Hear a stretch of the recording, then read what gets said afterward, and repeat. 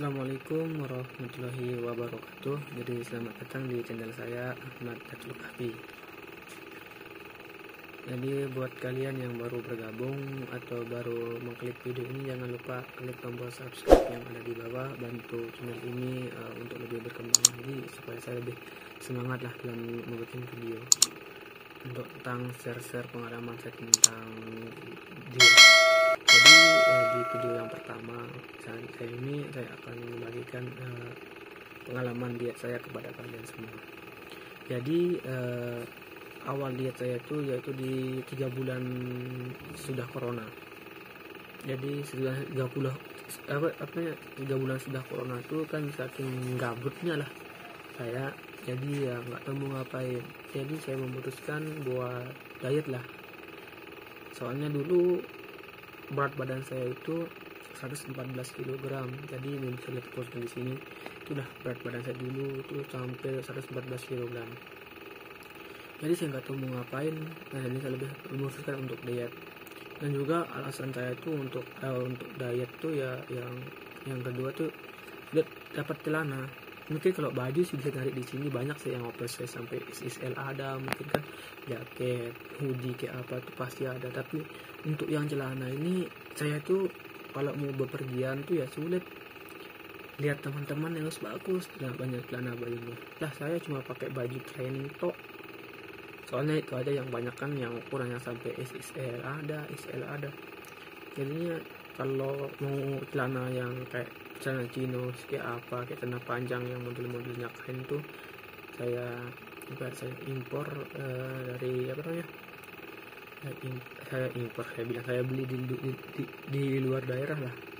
Soalnya saya saya itu sampai 44 kan terbilang aneh kan. Ini kalau itu ya baru tapi kalau baju sekolah sih dari mulai SD saya motong terus nggak ada soalnya yang dikasih sama sekolah nggak pernah muat.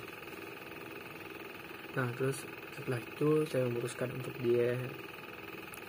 Uh, diet saya ini ya namanya OCD saya pakai punyanya Om Deddy Komposer makasih Om. Berkatnya saya bisa kurus. Uh, terus selanjutnya uh, sudah itu saya memutuskan untuk diet dan pas malam hanya sebelum saya diet tuh ya saya puasin diri saya makan sampai jam 12 saya makan tiga piring kalau nggak salah ada dua piring tuh lupa. Ayo makan banyak habis langsung tidur. Nah paginya kan masih terasa kenyang kayak orang puasa kayak apa gitu kan. Karena saya tuh langsung ngambil yang makan satu kali sehari saya makan cuma jam 3 sore doang. Soalnya biar apa ya biar tuh malamnya itu e, lebih pendek lah jam makannya biar nggak lapar di malamnya gitu terus berjalan uh, kurang lebih satu minggu tuh emang sih uh, perut rasa sakit. Kayak gimana ya? Kayak sakit lah kayak uh, lapar terus sakit kayak gimana ya dibilang. Uh, intinya sakit lah sakit. Nah terus setelah berlanjut berlanjut ya alhamdulillah sudah enggak.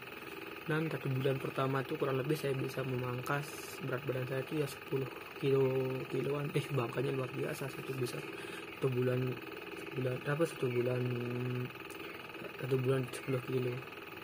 Sebelum saya juga sebelum saya mulai diet juga saya sering search di Google tips dia cepat tanpa olahraga. Itu sih nggak mungkin sih kalau kita nggak olahraga nggak bisa kita diet itu terus itu ya terus berlanjut lah diet saya. Berlanjut berlanjut alhamdulillah masuk lagi masuk lagi terus uh, hampir satu tahunan lah jadinya itu kurang lebih ya 40 kg saya buat. 44 kg uh, saya ya turun turunin. Jadi kalau mau lihat foto saya sekarang saya taruh juga di sini. Itulah foto saya sekarang bentuk badan saya. Entah saya juga pas di video yang pertama saya tunjukkan 14 kg juga saya akan menunjukkan foto, foto saya sama kalian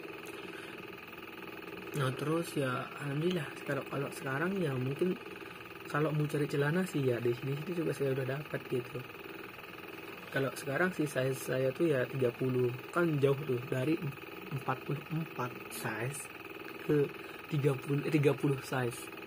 Udah 12 12 12an ya ya 12 12 14 lah mungkin bisa sekarang. Dan baju juga udah pakai L. Yang dulu saya pakai XXL itu apa? Saya nggak tahu. Ukuran saya itu udah intinya kalau baju sekolah tuh ya nggak ada ukuran dah soalnya saya motong bapak juga ribet gitu kan. Jadinya alhamdulillah sekarang mah uh, udah kayak orang normal lah. Lebih biasa bisa beli celana toko ini. Ada ukuran saya ada sekolah. Saya nggak kayak dulu soalnya. Kalau dulu tuh saya semataram senarmada biasanya tempat orang banyak di sini tuh saya cari saya nggak ada.